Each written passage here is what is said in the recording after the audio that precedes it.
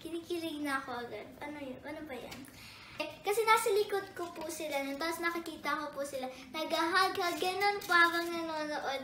So, it melts my heart po.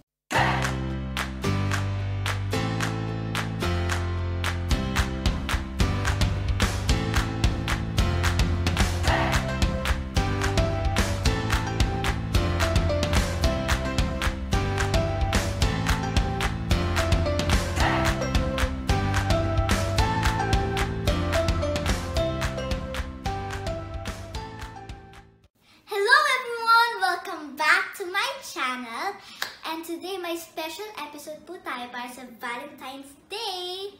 Tanong ko po, may ka-date po ba kayo? Sa mga meron po, I'm super happy for you po. And sa mga wala naman po, okay lang po yan. Ako po, wala po ako. Pero meron naman pong mommy and daddy at okay na po yun sa akin. So, let's start! Woohoo! For today's special Valentine's Day episode, mag-react po tayo sa Filipino love teams. Ready na po ba kayo? Dito na po tayo ki- kikiligin. Let's go. Wala. Ito na lang kasi nasa taas po siya. Kimsey! Kinikilig na ako agad. Ano yun? Ano ba yan? Si um, Kuya Sian po, na-meet ko na po siya sa Viva kasi pares po kaming Viva. Sobrang sweet po niya, tsaka sobrang tangkad po niya.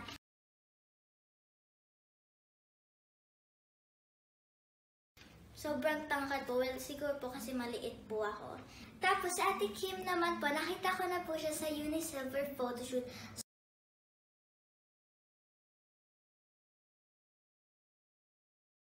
Sobrang ganda po niya, lalo po kapag wala pong makeup. Maganda po siya with or without makeup. At sobrang fashionable po niya.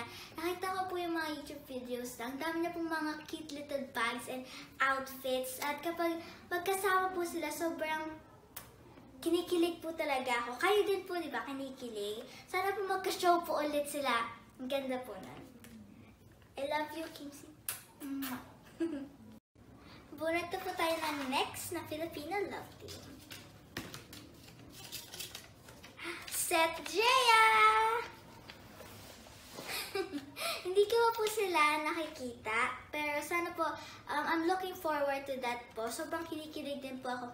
Lahat po kinikilig po ako. Yung mga chemistry po nila, mga tinginan po, sobrang intense sana po talaga makita ko po sila kasi sobrang hyper po nila at, at sobrang hyper ko din po at talkative at ganun din po sila at sa tingin ko match po yung energy namin. Gets niyo po? Yan po.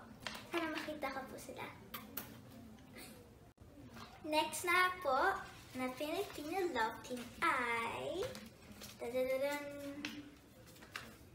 by Lola! Oh my gosh. So, si Kuya Belin, Ate Ilona po ito, syempre po.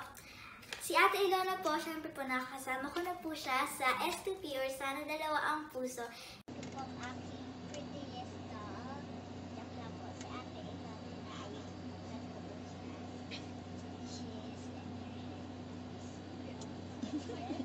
Sobrang gentle and caring po nila. Ang sweet-sweet po niya. Si Kuya Bailey naman po, nakasama ko po siya sa ASAP. Sa backstage po, ang po, ang galing na po mag-practice-practice, yung sayaw-sayaw po. At yung kapag, mag, kapag magkasama sa, grabe po talaga yung chemistry.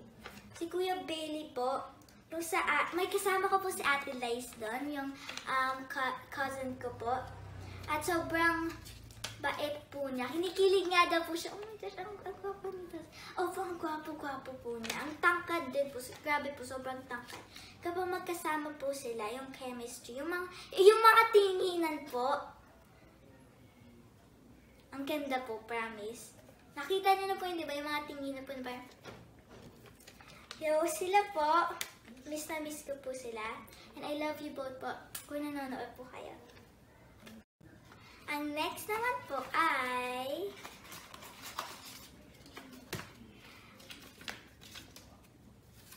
Vice Ion, yes, our iconic love team. Paano ba to?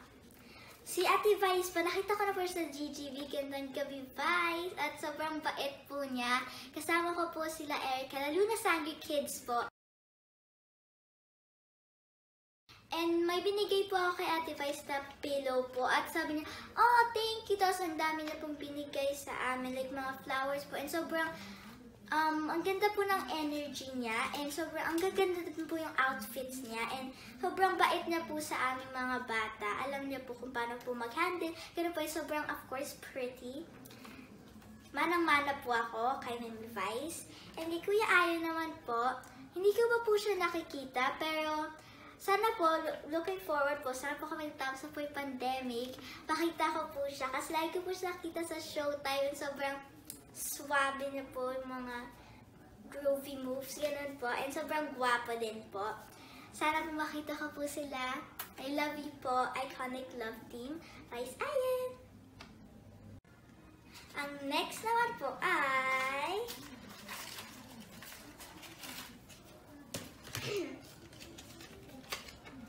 Jadine! Lang lakas. Baka, baka nagising ko yung kapitbahay. Okay, ang dami ko pong stories. So, start po with Kuya um, James. Nakita ko po siya, sobrang bata ko pa po nun. So, this time, nakita niyo po, yung mag-isa lang po siya nagka-computer. Dumaan po ako sa likod.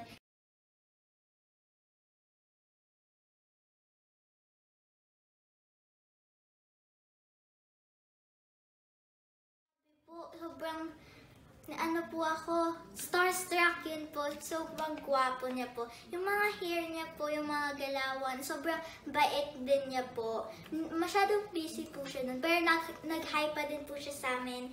Nila mami, sa mga cast po. At si ate Nadine naman po, ever since I was young po, yung unang YouTube entry ko po, Otwal po. Um, ito po yung video, papakita ko po sa inyo. Number three.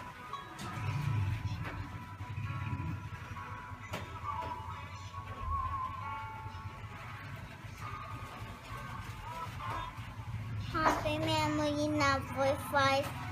My husband. Miss nakita. Sophia. na ay nag-react po si ate Nil. Sabi ko, oh my God. Kaya po gumawa pa po ako ng gumawa.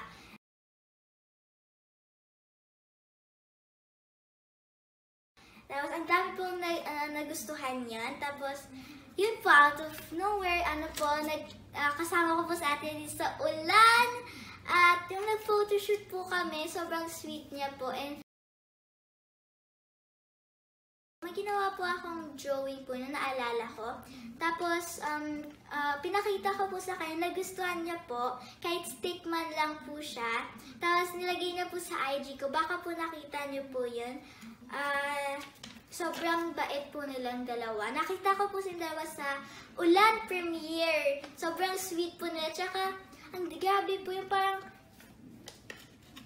ang sweet-sweet po nila. Kasi nasa likod ko po sila nun. Tapos nakikita ko po sila. Nag-hug-hug. Ganun po habang nanonood.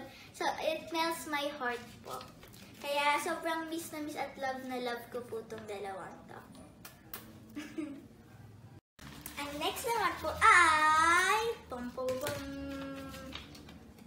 Julian Allen! Sobrang Mostly po yung mga nandito po, ang mga friends ko po sila, parang ate at kuya ko po sila. Minsan, si um, Jadine po, mommy and daddy po yung tawag ko sa kanila. At ito, si, ito po, sobrang galing po nila sumayaw. Ang babait po nila. Sa Casino Operation Break na Casino was hard po. Nakasama ko po sila doon. Sobrang kinilig po ako si Kuya Julian, si Kuya Julian Trono po. Um, may, mahilig po sa mga kanta niya. Tapos po, nag-duet po kami. Ate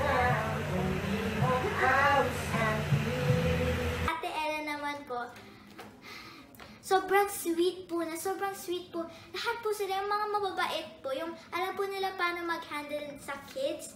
At ito po, grabe din po yung chemistry nila. Sobrang, mahilig po sila mag-hug-hug po. Tapos, um, nag-YouTube video din po. Yung lahat, kaming tatlo po kumakanta habang nag-wait po sa set. Sobrang, humble po nila. Ang humble po nila. As po nakita ko po sila sa OFW Gawat Parangal, paras po kami nagka-award doon. Sobrang proud po nila sa akin at sobrang proud ko po sa kanila. Bigla po kami nagkulitan sa yung nakita ko, Mami sila, sila Kuya Julian, Ate Ella. Sabi, oh my gosh, baby. Tawag po kasi nila baby kasi baby daw po nila. Oh. I'm flat, I'm flattered po. Sobrang kinongratulate ko po sila, kinongratulate din po nila ako. Yun po, sobrang miss ko po sila. Sana po makita po ulit kami after pandemic. Mm. Ang next naman po ay... La.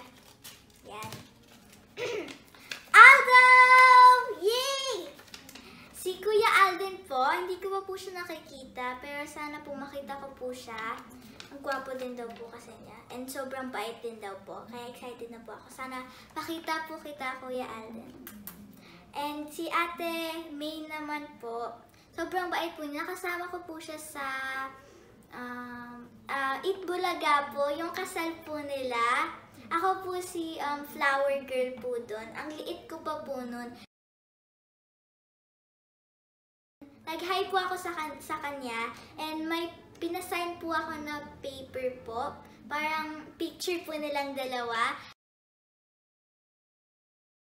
Hanggang ngayon po, um, nasa akin pa din po yun. Parang piece of memory po siya. Ex- galing po sa experience na yun. Sobrang bait din po niya. And sobrang ganda po.